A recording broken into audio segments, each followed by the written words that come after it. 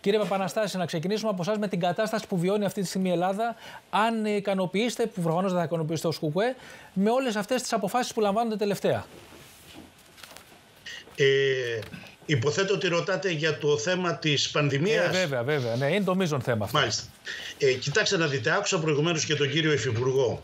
Υπάρχει ένα αντικειμενικό και αναμφισβήτητο στοιχείο. Και αυτό είναι η ίδια η πραγματικότητα. Μια πραγματικότητα που τη βιώνει ο λαός. Αυτή λοιπόν η πραγματικότητα είναι πραγματικά σκληρή.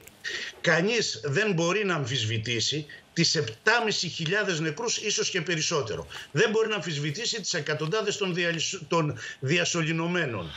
Τις απάνθρωπες ουρές αναμονής για μια κλίνη, προσέξτε, σε μονάδα εντατικής ε, θεραπείας. Μια ε, προσμονή η οποία ευελπιστεί σε μια μηχανική ανάσα που θα δώσει ζωή. Και το τραγικό είναι σε αυτή την πραγματικότητα ότι υπάρχουν δυστυχώς νεκροί περιμένοντας. Αυτά τα πράγματα είναι αδιανόητα και αυτή η πολιτική είναι εγκληματική. Τη στιγμή που τα δημόσια νοσοκομεία έχουν καταρρεύσει και να σας πω. Δεν Κύριε είναι αυτό, είπατε προηγουμένω. Επειδή είπατε ότι υπάρχουν νεκροί περιμένοντας και δεν θέλω να το αφήσουμε αυτό να πέσει κάτω. Ε, Βεβαίως. Εννοείται ότι υπάρχει κόσμος που νοσεί, δεν υπάρχει κλίνη για να νοσηλευτεί και χάνει τη ζωή του. Βεβαίως. Γιατί σας ακούει ο Είναι ανακοινώσεις. Και ναι, ναι, είναι ανακοινώσεις των συλλογικών οργάνων των εργαζομένων στην υγεία, οι οποίοι ήδη ενημερώνουν τον κόσμο ότι υπήρξαν νεκροί πριν ακόμη ενταχθούν, στην, ε, εισαχθούν συγγνώμη, σε μονάδες ε, εντατικής θεραπείας. Αυτό ακριβώς το στοιχείο είναι το οποίο μας ανησυχεί. Εμείς επικαλούμαστε την ε, ε, άποψη και την έκφραση των ανθρώπων, των νοσοκομιακών, των γιατρών αλλά και των νοσηλευτών, οι οποίοι πραγματικά εκφράζουν μια τεράστια αγωνία και εστιάζουν τις θέσεις τους σε δύο βασικά στοιχεία.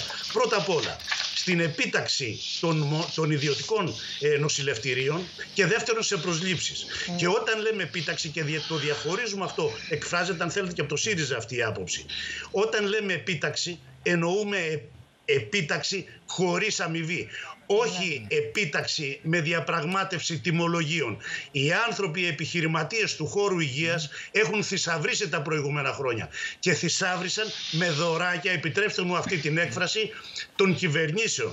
Ο κόσμος τα γνωρίζει αυτά τα πράγματα γιατί τα έχει πληρώσει από την τσέπη του. Καταρχάς να πω ότι είναι ύβρις απέναντι στους ανθρώπους οι οποίοι καθημερινά υπερβάλλουν τις βιολογικές τους αντοχές να τους ονομάζει εκπρόσωπος της κυβέρνησης ανεύθυνους και ψευδός θυμολογούντες. Ένα. Δεύτερον, ο κύριος Λοβέρδος σαν εκφραστής της πολιτικής της κυβέρνησης να μην φοβάται να μιλήσει για την Σοβιετική Ένωση και το ότι την εποχή της Σοβιετικής Ένωσης όλα αυτά τα προβλήματα που βιώνουν οι σύγχρονες δίθεν κοινωνίες τα είχε λύσει.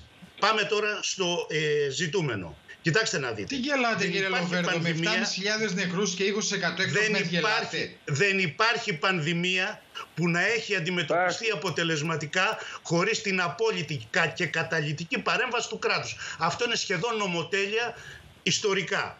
Αυτό λοιπόν που συμβαίνει σήμερα είναι πρωτόγνωρο, αναποτελεσματικό και εγκληματικό. Μιλάμε για τεστ. Ένα σχόλιο Μιλάμε για τεστ. Δεν θα έχουμε χρόνο. Θα μας κατηγορήσει ο κ. Λοβέρδος ότι δεν μίλησε. Με ποια, με ποια κριτήρια και με ποια πρωτόκολλα οι, οι αισθανόμενοι ότι την ανάγκη να πάνε να κάνουν τεστ θα πάνε να το κάνουν. Πώς αυτά θα καταγραφούν. Θα έχουμε βάλει και εμείς τα ερωτήματα. Πώ θα αντιμετωπιστούν, πώς θα αντιμετωπιστούν; Ελάτε, κύριε από τους ίδιους ή αν θέλετε από τους φαρμακοποιούς. Γιατί δεν θα έχουμε χρόνο Ουσιαστικά θα... η κυβέρνηση κάνει, κάνει πάσα μια βόμβα που δεν μπορεί αυτή να διαχειριστεί στους φαρμακοποιούς. Παρακαλούσαμε να διασφαλιστούν τρία δευτερόλεπτα. Κύριε Γιανούλη, να μιλήσει ο κύριος Λοβέρδο.